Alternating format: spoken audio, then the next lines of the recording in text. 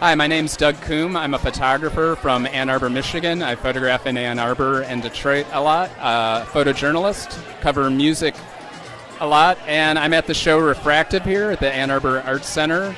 Refractive is a great collection of a bunch of artists from the local area.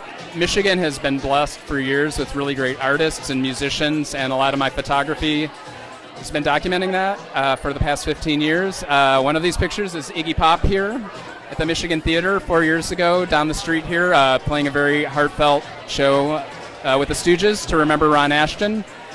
My uh, work in particular is uh, using the Harris camera, which is an old effect from the 70s. Um, I kind of abuse the Harris camera and produce abstractions with it.